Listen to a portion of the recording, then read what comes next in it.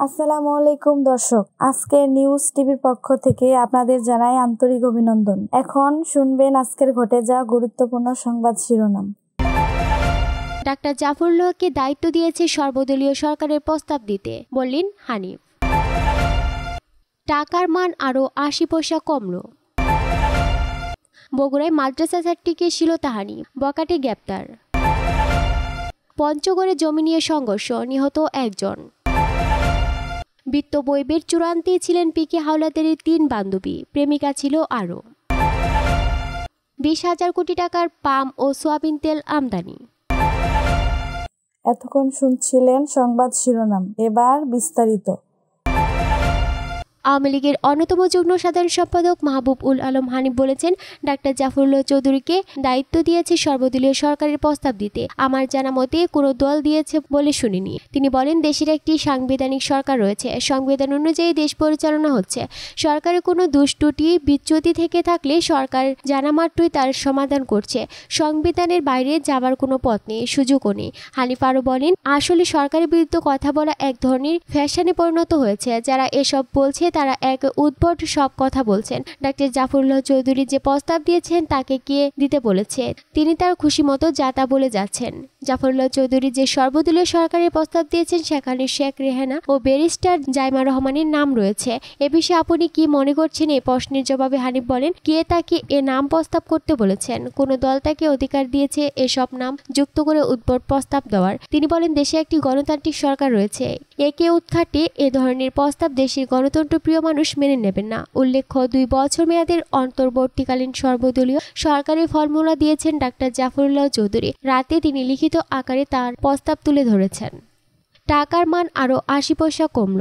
আজ এক সপ্তাহের ব্যবধানে বাংলাদেশ ব্যাংক আবার মার্কিন ডলারের বিপরীতে টাকার মান কমিয়েছে। আজ প্রতি মার্কিন ডলারের বিনিময় মূল্য আশি টাকা পয়সা বাড়িয়ে সাতাশি টাকা পঞ্চাশ পয়সা নির্ধারণ করা হয়েছে। এতে রপ্তানিকারক ও প্রবাসীরা লাভবান হবেন, অন্যদিকে আমদানিকারকদের খরচ বাড়বে।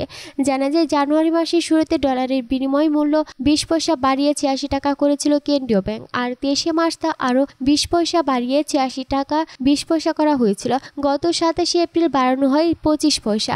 তাতে এক ডলারের বিনিময় মূল্য দাঁড়ায় ছিয়াশি টাকা পঁয়তাল্লিশ পয়সা। সর্বশেষ নয় মে ডলারের বিনিময় মূল্য পঁচিশ পয়সা বাড়িয়ে ছিয়াশি টাকা সত্তর পয়সা নির্ধারণ করা হয়। যদিও খোলা বাজারে ডলারের দাম বহাগি নব্বই টাকা ছাড়িয়ে গেছে। খোলা বাজারে এখন ডলারের দাম তিরানব্বই টাকা বেশি। আর আমদানির এলসির বিপরীতে আমদানিকারকদের ডলার কিনতে হচ্ছে পঁচানব্বই থেকে ছিয়ানব্বই টাকায়। বাংলাদেশ ব্যাংকে রিজার্ভ থেকে প্রতিনিয়ত ডলার বিক্রি করছে। আর ডলারের চাহিদা বেশি হয়, ধীরে ধীরে দাম বাড়াচ্ছে। এভাবে বাজার নিয়ন্ত্রণ করার চেষ্টা করছে কেন্দ্রীয় ব্যাংক, যদিও অর্থনীতিবিদদের অনেকে ডলারের দাম চাহিদা যোগানের উপর ছেড়ে দেওয়ার পক্ষে।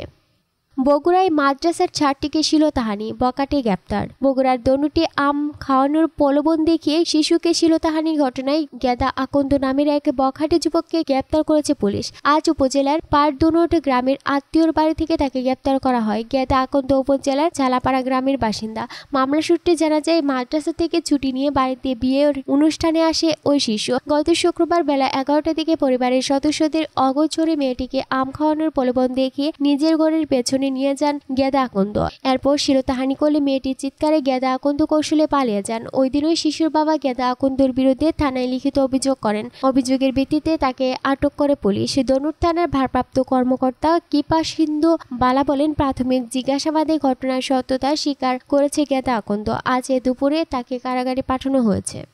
পঞ্চগড়ে জমি নিয়ে সংঘর্ষ নিহত একজন। পঞ্চগড়ে তেঁতুলিয়া উপজেলায় জমি সংক্রান্ত বিরোধের জের ধরে সংঘর্ষে আয়ুব আলী নামের এক ব্যক্তির মৃত্যু হয়েছে। রাতে রংপুর মেডিকেল কলেজ হাসপাতালে চিকিৎসাধীন অবস্থায় তার মৃত্যু হয়। জানা গেছে, মৃত আয়ুব আলীর জেলার তেঁতুলিয়া উপজেলার তিরনি হাট ইউনিয়নের দগরবাড়ি এলাকায় মৃত শালেখার ছেলে। পুলিশ ও মামলার এজাহার সূত্রে জানা গেছে, তেঁতুলিয়া উপজেলার তিরনি হাট ইউনিয়নের দগরবাড়ি গ্রামের আয়ুব আলীর পরিবারের লোকজন ও একই ইউনিয়নের ফুটকিবাড়ি গ্রামের জোরান আলী আলীর পরিবারের মধ্যে জমির মালিকানা নিয়ে বিরোধ চলে আসছে। গত চৌঠা মে বিকেলে ডগরবাড়ির চৌরাস্তা এলাকায় জুরান আলীর ছেলে হালিম ও তার লোকজন দেশীয় অস্ত্রশস্ত্রে সজ্জিত হয়ে আব্দুর রহমানের ছেলে সুমনের উপর হামলা চালায়। এ সময় সুমনকে বাজাতে তার চাচা আয়ুব আলী ফারুক হোসেন, মহসিন আলী, জসিম ইব্রাহিম, ফরিদা বেগম, সুমন খান, জহিরুল ইসলাম, মাসুদ রানা, ফরহাদ সহ উভয় পক্ষের কমপক্ষে দশজন আহত হয়। আহতদের প্রথমে তেঁতুলিয়া উপজেলা স্বাস্থ্য কমপ্লেক্সে ভর্তি করা হয়। পরে গুরুতর আহতদের পঞ্চগড় আধুনিক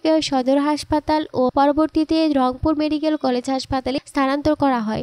রংপুর মেডিকেল কলেজ হাসপাতালে চিকিৎসাধীন অবস্থায় রাতে আয়ুব আলী মারা যান। এ ঘটনায় আহত মাসুদ রানা ফরহাদ গত ছয় মে তেঁতুলিয়া মডেল থানায় আঠাশ জনের নামে এবং দশ থেকে পনেরো জনকে অজ্ঞাতনামা আসামি করে মামলা দায়ের করেন। মামলার পর মুবারক হোসেন নামের এক আসামিকে গ্রেপ্তার করে তেঁতুলিয়া মডেল থানার পুলিশ।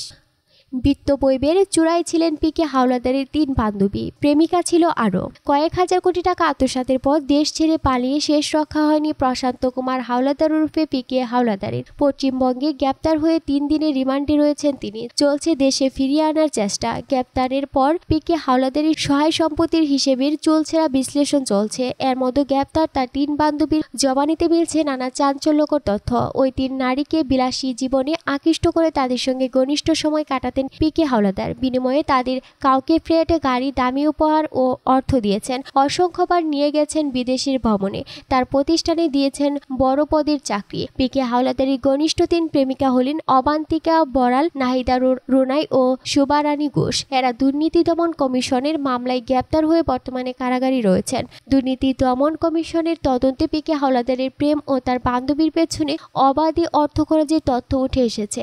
এছাড়া তার আরও প্রেমিকার সন্ধান সন্ধান পাওয়া গেছে। দুদকের তদন্ত থেকে জানা গেছে, পিকে হাওলাদার তার ঘনিষ্ঠ বান্ধবী অবান্তিকা বড়াল ও নাহিন্দা রুনাইকে সঙ্গে নিয়ে আলাদাভাবে ছ ষাটবার সিঙ্গাপুর ও থাইল্যান্ড ভ্রমণ করেছেন। ঢাকার বিভিন্ন ক্লাবে রুনাই ও অবান্তিকার সঙ্গে আলাদা সময় কাটাতেন। রিয়ালেন্স ফাইন্যান্সে, পেপলসে লিজিং ও ইন্টারন্যাশনাল লিজিং এর কর্মকর্তা কর্মচারীরা রুনাইকে বড় আপা ও অবান্তিকে ছোট আপা বলে সম্বোধন করতেন। বিশ হাজার কোটি টাকার পাম, সোয়াবিন তেল আমদানি। বিশ্ববাজারে পাম ও সোয়াবিন তেলের দাম এখনকার মতো কখনো হয়নি। দেশে এই দুই ধরনের তেলের চাহিদা পূরণ করা হয় আমদানির মাধ্যমে। দাম বেড়ে যাওয়ায় এবার সোয়াবিন ও পাম তেল আমদানিতে খরচ অতীতের সব রেকর্ড ভেঙেছে। আগে কখনো ভোজ্য তেলের আমদানিতে এত অর্থ খরচ করতে হয়নি। আমদানি খরচ বেড়ে যাওয়ায় চাপ বাড়ছে বৈদেশিক মুদ্রার রিজার্ভে। বাংলাদেশ ব্যাংক ও জাতীয় রাজস্ব বোর্ডের হিসেবে চলতি দুই হাজার একুশ ও দুই হাজার বাইশ অর্থ বছরের প্রথম দশ মাস পাম ও সোয়াবিন সয়াবিন তেল আমদানিতে ব্যয় হয়েছে দুশো আঠাশ কোটি ডলার বা প্রায় বিশ হাজার কোটি টাকা। গত অর্থ বছর একই সময়ে ব্যয় হয়েছিল প্রায় একশো সাতচল্লিশ কোটি ডলার বা বারো হাজার ছয়শো চব্বিশ কোটি টাকা। অর্থাৎ এই দুই তেল আমদানিতে ব্যয় বেড়েছে প্রায় পঞ্চান্ন শতাংশ। ব্যবসায়ীরা নতুন করে যেসব ঋণপত্র খুলেছেন, সেসব পাম ও সয়াবিন তেলের দর আগের তুলনায় বেশি। তাতে অর্থ বছরের শেষ দুই মাসে এই ব্যয় আরও বাড়বে। সব মিলিয়ে বর্তমানে ধারায় আমদানি অব্যাহত থাকলে অর্থ বছর শেষে এই দুই ধরনের তেলের আমদানি ব্যয় বেড়ে দাঁড়াবে দুশো তিয়াত্তর কোটি ডলার। তাতে গত বছরের তুলনায় প্রায় শত কোটি ডলার বাড়তি ব্যয় হবে ভোজ্য তেল আমদানিতে। বিশ্ববাজারে এক বছরের ব্যবধানে সয়াবিন ও পাম তেলের দাম কীভাবে বেড়েছে তার উদাহরণ দেওয়া যাক। গত দুই হাজার বিশ ও দুই হাজার একুশ অর্থ বছরের প্রথম দশ মাসে টন প্রতি সয়াবিন তেল আমদানি হয়েছে আটশোশো চুয়ান্ন ডলার দরে। চলতি অর্থ বছরে একই সময়ে টন প্রতি সেই ব্যয় বেড়ে দাঁড়িয়েছে করে এক হাজার তিনশো উনআশি ডলারে।